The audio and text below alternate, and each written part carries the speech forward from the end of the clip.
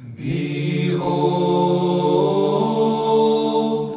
the bridegroom cometh in the middle of the night, and blessed is the servant whom he shall find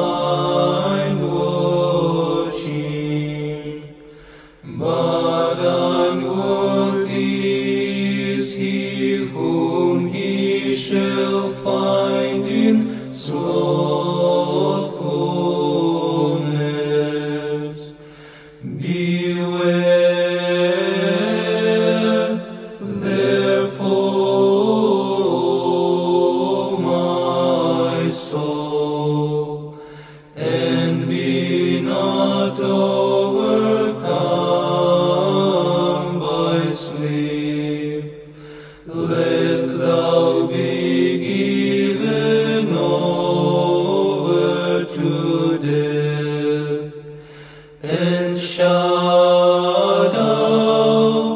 from the kingdom, but return